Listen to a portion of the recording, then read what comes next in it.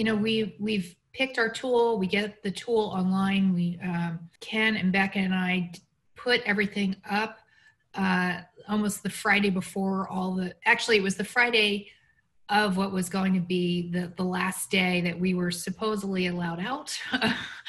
um, so there was like this sense of urgency and weirdness as we were putting things together.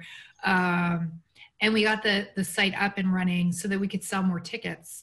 And, you know, Mark, I want to bring you in at this point um, because originally you were, you were one of the skeptics. Um, and I'd love to hear from your standpoint um, what made you change your mind as to why you thought that we could do this? Well, I mean, originally, you know, when we find out that we can't congregate in one place, something we look forward to, there's, you know, the stages of grief, you know, you feel angry, you're in denial. Oh, surely we can do this. And then realize, no, we do, we do have to cancel after all. Um, I think that we were way ahead of the game in terms of uh, moving the conference online. And I feel that uh, for me and for a lot of people, things looked very different after like two weeks of being in the house yeah. than from like oh i think we should not like have a, a meeting i just want to remind everybody we made this decision before like weeks before the governor came on and said anything about um, you know that we have to stay at home or anything like that so there's definitely a change in attitude from you know you're in your house to um, from before. And uh, you know, I mean, I was I was one of the naysayers for like 15 minutes, but we had a meeting and we decided that we're going to go forward. And between the choices of canceling and uh, you know having it online, we decided to have it online, and I'm glad we did. Um, so Becca, uh, let's just talk about. Uh, so there's the management. So we we made the decision to go online. Um, we, you know, there were things that needed to get done. And at this point, we've got about three and a half weeks to get everything accomplished. So um, there's there's a lot that goes on behind the scenes um, that this team was responsible for. So uh, Beck and I started meeting. Uh, we were doing daily stand-ups Monday through Friday, uh, which was really the first time that I've done an actual stand-up uh, on a consistent basis. And man, that was that was the best way for us to stay organized. They kept um, this thing on the rails. Sure. it, it, allowed us to understand what each of us was doing to do the reach out. Um, so that was one of the organization strategies that we used.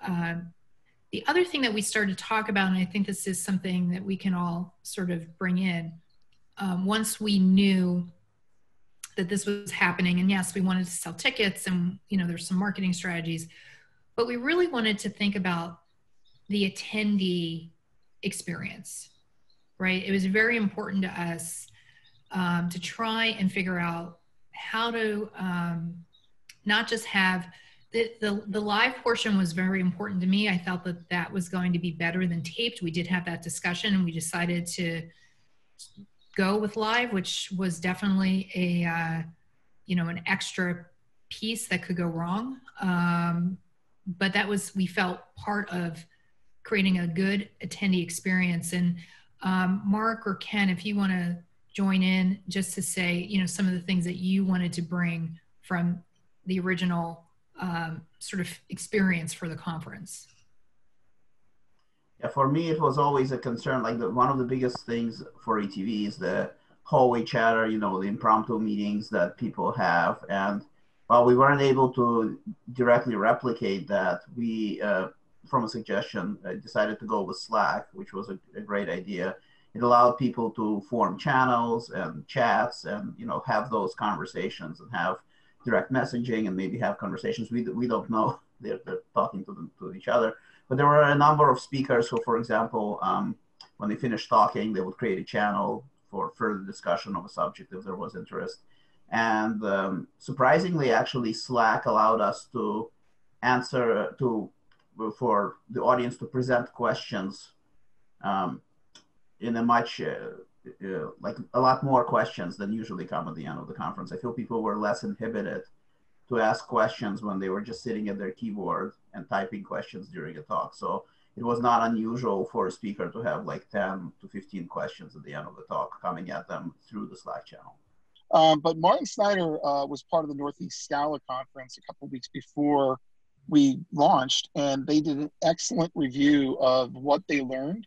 That Mark and I and Becca and Tracey, we all like poured through that to to glean tips. Um, and Slack definitely seemed to really be a big help for them. We use Slack all the time in a lot of our projects, and we kind of light went off. We're like, yeah, Slack. I mean, why buy anything? Just use the community version of Slack, and we'll have.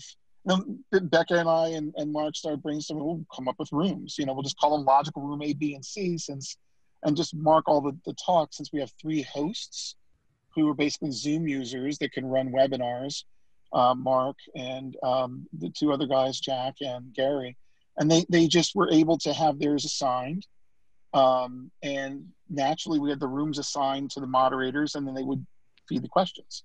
It worked great i thought. Um, and you know the other thing is i spun over and looked at twitter. That was the other thing i was concerned about was what kind of spillover chatter will we have in social media and i looked at it three or four days later and i was really pleasantly surprised at all the positives and kudos even on twitter which you would think wouldn't get much play when Slack was involved, but people were engaged there too, and on LinkedIn. So it's engagement. That yeah, was the missing yeah. piece of all of this. Like it would be, it would have been so easy to tape the speakers and produce them and give them to an audience. But the fact that we a took it live, there's the engagement there. Let people have a place to ask questions of these speakers and also a place to mingle. Like especially now that we're all isolated, that was so necessary.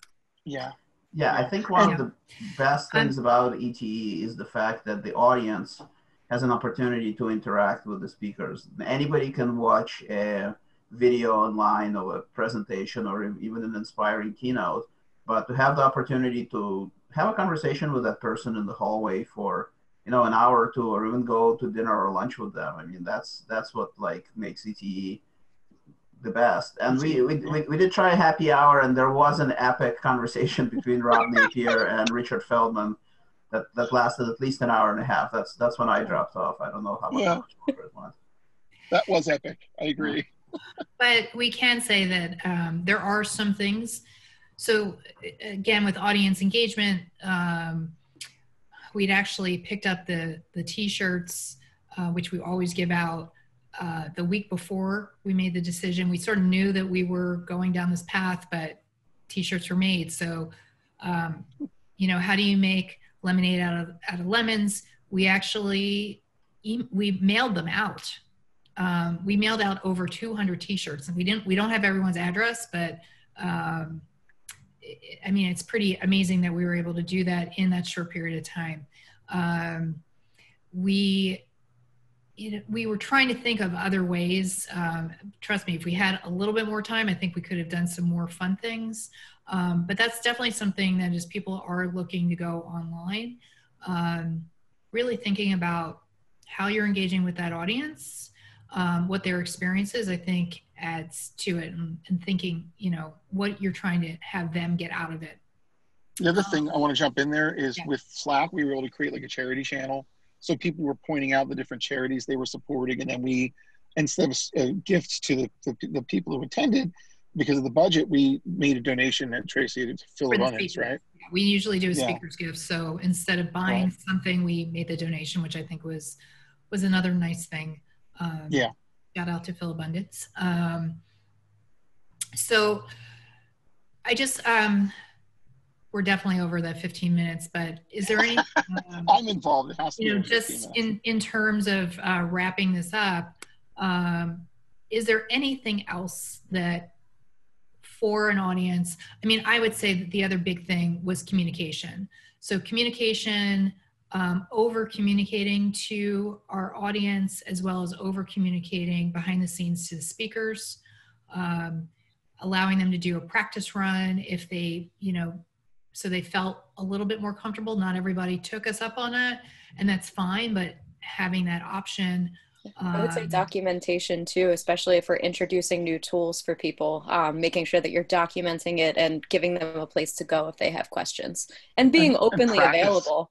And yeah, and multiple yeah. multiple levels of communication of, of how to enjoy the conference with the with, with all the parts because you, you're gonna Right. you're gonna be using various systems, so you need to make sure that people can get on Zoom and can get on Slack and whatever else you're using uh, beforehand, and uh, try to provide that information through multiple channels. and making lots of mistakes early on. Like we ran through the three of us, uh, Becca and Mark and I ran through many scenarios, and Tracey too, where we pretended we were the speaker, pretended we were the, the the person attending, pretended we were the host, and did lots of screenshots. And then Becca did a wonderful job sewing that all together and putting a great email out there. And I think the speakers and and the attendees felt that we had their backs, even if there were technical issues. No matter what, they knew they could come to us. They knew they could hit the Slack support channel or email us and you know they were able to get answers right away so if you're doing anything like this if you're considering doing an online conference you can't put it all together in a week you can't do it a day of and hope that it all works you've got to practice and thoroughly learn from what you're doing and document it For sure, for the it's it's it's especially important for moderators. If you have you know good Yeah. speakers who speak elsewhere, they probably by now are used to uh, working with Zoom or whatever else platform that you're using. If it's not Zoom, you probably have to train them a little bit. Also, the audience, you have to remember that like the biggest hurdle is the beginning, the first couple of talks. After that, the audience kind of accepts what's happening and are tra- quote unquote trained, so they can, uh, you know, they they know the drill. You don't have to, you know, tell them the instructions. You know, like go Yeah. here, don't do this. They they kind of know the deal. So you know, it gets easier as the conference progresses. Although your fatigue may increase, but it, it gets easier in that respect. Uh, Yeah. you guys all did a great job all three of you moderators were phenomenal Yeah. just wonderful. And your committee this year, you know, from someone doing it for many years, I'm so thrilled to see how good the committee has gotten in this crop. That you guys are working really hard at getting great speakers. So, hats off to you guys. So I'm just going to wrap this up just to say, you know, we're going to continue to be there online. Um, we're going to push some boundaries because honestly, that's what's fun uh, about what we do in terms of how we're delivering content. Um, I think right now, being bold in trying um, some new experiments with this medium um, so that we can stay connected, I think is important. So um, I hope uh, if you are thinking about doing an event, you found this to be helpful and you can reach out to us uh, on LinkedIn if you have any other questions. Thanks, guys. Thanks for a great um, conference this year. And um, it was, it really was uh, a special time.